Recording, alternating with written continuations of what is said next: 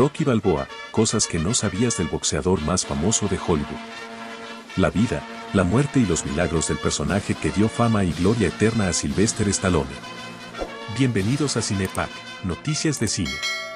No olvides suscribirte y comentar qué te ha parecido. Gracias. Rocky, de Iona Bilsen, se estrenó en 1976 y recibió 10 nominaciones al Oscar, ganando solo dos, Mejor Película y Mejor Director, las más importantes. El primer borrador se escribió en tres días y medio. No todos los actores tienen éxito de la noche a la mañana en Hollywood, y Sylvester Stallone no fue diferente. A principios de la década de 1970, a los 23 años, Stallone era un artista desconocido que intentaba hacerse un nombre en California.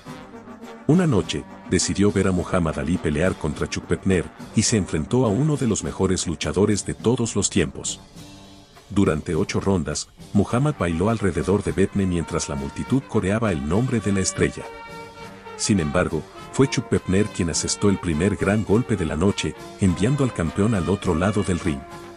Stallone salió de la arena inspirado y confiado en la historia, escribiría sobre un boxeador desconocido de Filadelfia, desafiado a pelear contra el campeón Apollo Creed.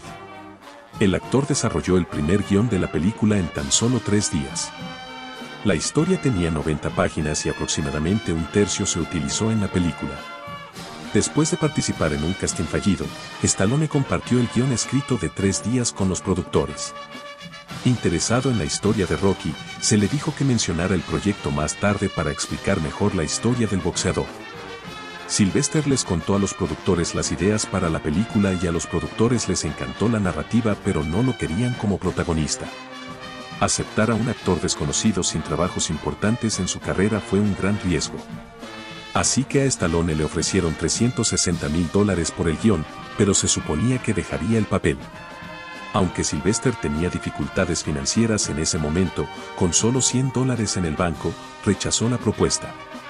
Al final, los productores acordaron dar un presupuesto de un millón de dólares para producir y protagonizar la película. Los métodos de entrenamiento del cemental italiano son memorables, desde beber huevos crudos al amanecer y la famosa carrera por las calles de Filadelfia hasta el momento en que Rocky golpea bistecs gigantes mientras da una entrevista. La escena fue inspirada por el boxeador estadounidense Joe Frazier. Cuando el luchador era joven, trabajaba en un matadero donde golpeaba los costados de la carne para entrenar. Así fue como a Stallone se le ocurrió la idea de Rocky. Rocky fue filmado en solo 28 días. Como el estudio no creía en el éxito de Rocky sin una gran estrella al frente, la película enfrentó varias limitaciones de recursos. El acuerdo finalizado dio a los productores el derecho de despedir a Stallone en cualquier momento dentro de los 14 días si el actor tenía un comportamiento problemático en el set. Además, redujeron el presupuesto de la película a 900 mil dólares y le dieron menos de un mes para rodar.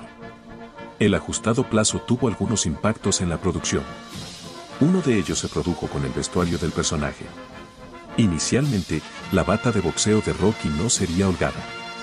El departamento de vestuario envió el atuendo el día de la filmación y la pieza era demasiado grande para Sylvester. Sin tiempo para cambiarlo, Stallone escribió un diálogo en la escena para resaltar que la capa estaba holgada.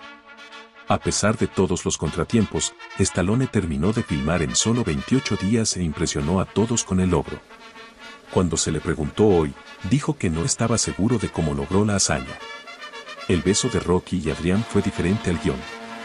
Talia Shire se resfrió durante la filmación y dudaba en besar a Stallone por temor a transmitir la enfermedad. La conducta tuvo un excelente final y los involucrados decidieron mantenerla en la película. Stallone ha declarado que la considera su escena favorita de besos en todas las películas de Rocky.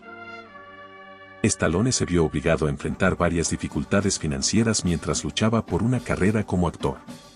Antes del éxito de Rocky, la estrella no podía pagar el alquiler ni comprar comida, e incluso tuvo que dormir durante tres días en la estación de autobuses de Nueva York. Sin embargo, uno de los momentos más difíciles para Stallone fue cuando tuvo que vender al perro por 40 dólares, afuera de una tienda de conveniencia para comprar comida. Después de negociar la película por 35 mil dólares, regresó a la escena y le ofreció al hombre mil dólares por el animal. El sujeto rechazó la propuesta, pero el actor no se dio por vencido. Stallone finalmente logró convencerlo, compró al perro por 15 mil dólares y le ofreció al hombre un papel en la película.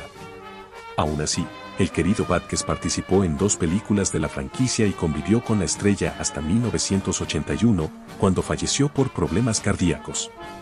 Tenía 26 años, estaba totalmente arruinado, estancado, solo tenía dos pantalones, zapatos con agujeros y todos mis sueños estaban muy lejos. Pero tenía a mi perro, Vázquez, mi mejor amigo, mi confidente, quien siempre se reía, bromeaba y me amaba por lo que era. El actor bromeó, en realidad, Rocky fue idea suya.